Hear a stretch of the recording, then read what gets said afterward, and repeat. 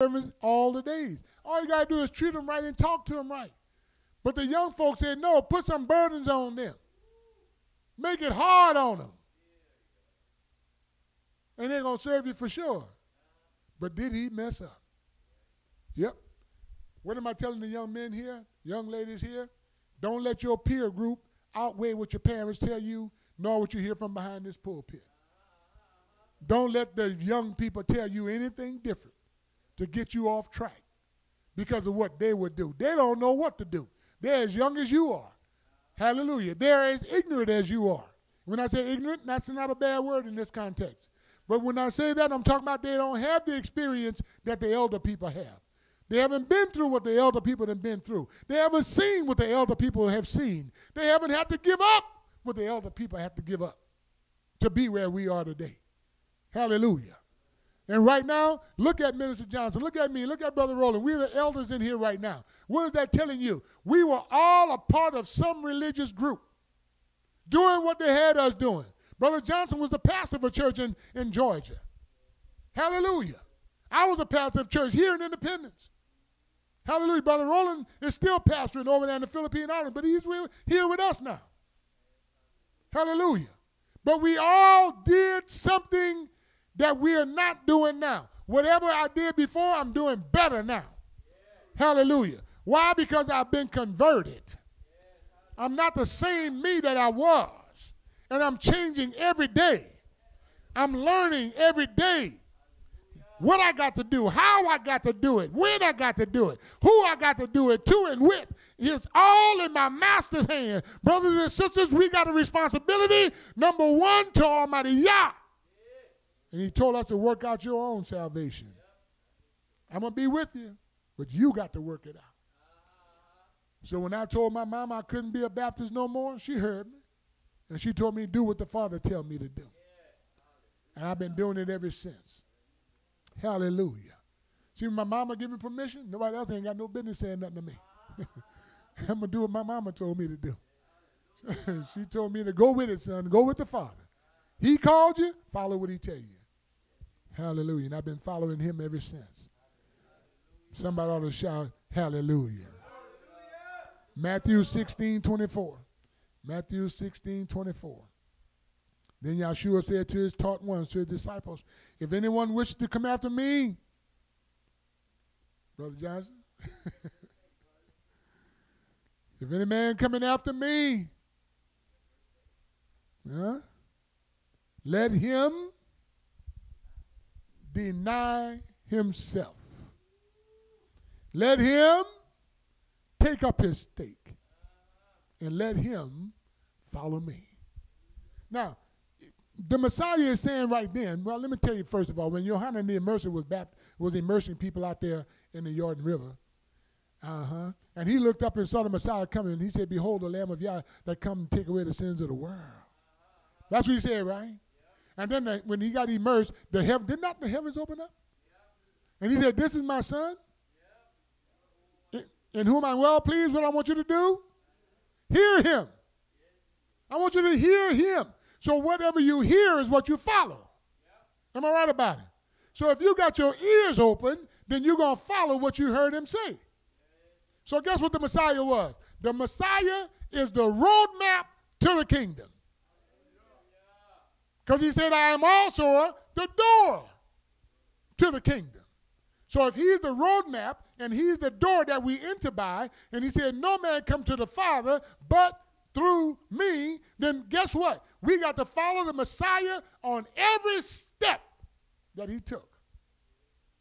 Because he's our perfect example. That's what Peter said. Brothers and sisters, listen to me now. Listen to me closely.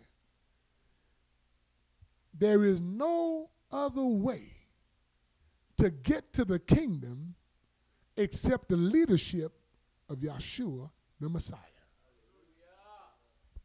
Not Paul. Because Paul said, Follow me as I follow the Messiah. Not Peter. Not James. We have to follow the Messiah. Come on, somebody. See, and if we're going to follow the Messiah, Then we look in the book of Luke, chapter 4. The Messiah went in the synagogue on a Sabbath as his custom was. That's what the Messiah did. So, guess what we have to do? Keep the Sabbath. The Messiah celebrated the feast days. So, guess what we have to do? Celebrate the feast days. The Messiah said, Father, I have kept your commandments. So, guess what we have to do? Keep the commandments. See, when you start looking at what he did, how he entreated people, he talked to Jew and Gentile alike. He said it must needs be that I go to Samaria, where y'all Jews don't want to go.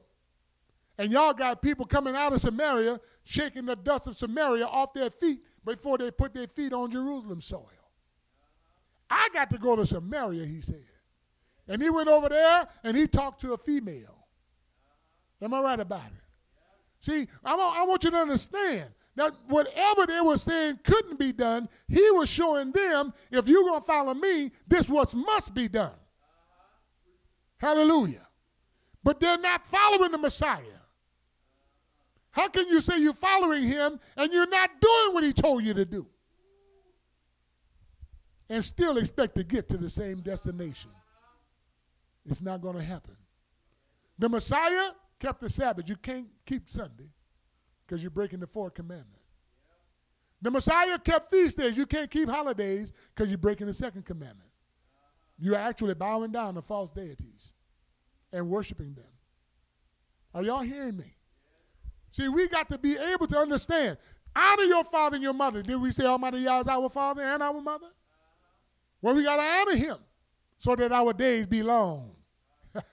Bless his Kodesh name. See, we got to understand all those commandments refer right back to Almighty Yah and us. The first four teach us how to keep Yah happy, and the last six teach us how to keep each other happy. Or should I say, the first four teach us how to love Yah, and the last six teach us how to love one another. How can you throw them away? And the same people, listen to me, y'all, the same people who say, oh, you shouldn't go out there and commit adultery, that's a sin. Oh, you going to keep that one? I thought you threw them away. I thought we didn't need them anymore. And the man go out there, oh, you stealing? Oh, that's a sin. You're going to hell. Oh, you keep that one too? Well, from my viewpoint, you keep all of them except one.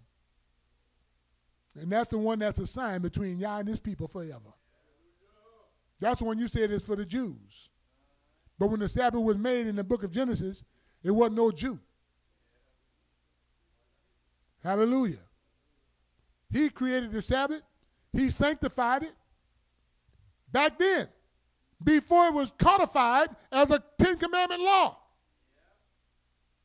Hallelujah. What am I saying? What I'm saying is we need to follow the plan.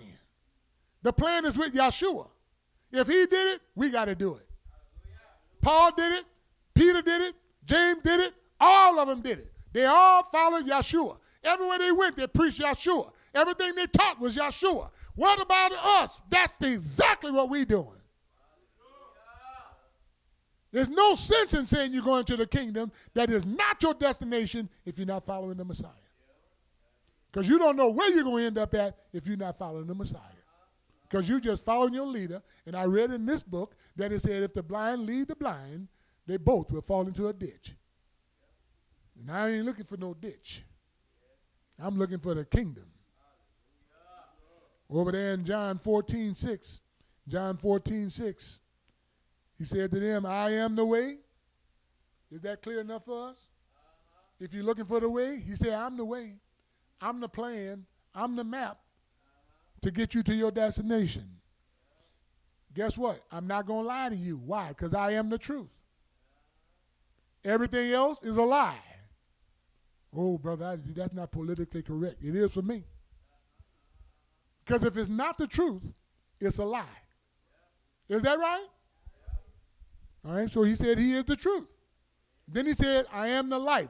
That means all and everything that's about him appertain to life. So anything that does not appertain to him and his way and his truth appertains to death. That's not my word. That's what's written in this book, right? I'm not adding to it, I'm not taking away from it. I'm keeping it in context of which it was written. He is the way, the truth, and the life. So if you follow anything else, you're going away from the truth, you're getting lost, and you're in death. Then you go to John 14, 2. In my Father's house are many rooms. And if not, I would have told you. But I'm going to prepare a place for you. For if I go and prepare a place for you, I will come again and receive you to myself, that where I am, there you may be also in my Father's room, in my Father's house. Now look what he said I'm going to prepare a place for you. So, what was his destination? His destination was to get to the kingdom and prepare a place for us. Come on, y'all. Come on. He went to the kingdom to prepare a place for me. Take it personally. He went to the kingdom, I'm going to say it again, to prepare a place for me. Hallelujah. Now he said, I'm going to come back. Now his new destination is earth. Come on, y'all. His new destination is earth. And why is he coming back to this place? To get me. And take me, who must be prepared, to a prepared place. The last message I preached, Brother Johnson, last week was preparation, preparation, preparation. We must be prepared. Because if we don't prepare ourselves, we're not going back with him. We remember the five foolish virgins who were not prepared. The gate was closed and they were left. But those who had their lights and had them trimmed, they went back with him. I want to go back with him. That's my destination, baby. You know, a long time ago, me and my sister right there, my brother Basil, we used to be standing at the bus stop waiting for the Hotard to take us to our destination on Canal Street. From Norco to Canal Street. We had to stay there and cross too. Don't worry, don't forget about that one. We were, stay, we were standing right there. Now we were standing there, and the bus was supposed to come get us, but sometimes the bus would be a little late, and we'll get a little antsy. Mom, is it coming yet? Boy, be quiet, it's coming. But we ain't we we got so anticipatory now. We we can't stop asking, is the bus coming? Now we we ought to have sense that Mama don't know where the bus at either. but we bugging her, getting on her nerves. But when we saw the bus, whoo, boy, we got excited. Hotard bus, even though we had to sit in the back. Hotard bus. We was glad to sit in the back. Felt that little air conditioning on us. Took us all the way to New Orleans. Dropped us off at Krauss. That was the first restaurant I ate a BLT. That thing tasted so good every time we went to New Orleans, I wanted one of them. I don't eat that no more. All I'm saying is, when, when that bus came to take us to the final destination, which was Krauss, I got excited. Letha got excited. Mama got, everybody was excited. But you know what? That wasn't our final destination. He's coming back to get us. He's going to be on the clouds of the air, riding on a white horse with the armies of heaven behind him. The last trumpet going to sound.